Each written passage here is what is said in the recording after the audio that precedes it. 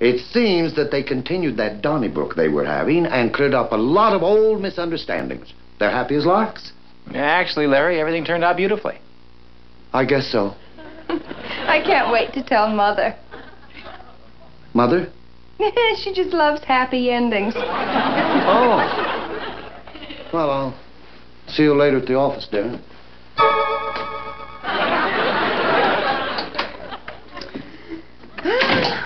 This little fella really works, doesn't he?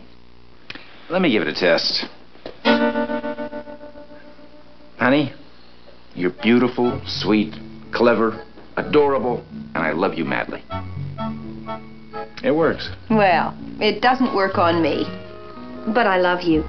And that is the truth, the whole truth, and etc.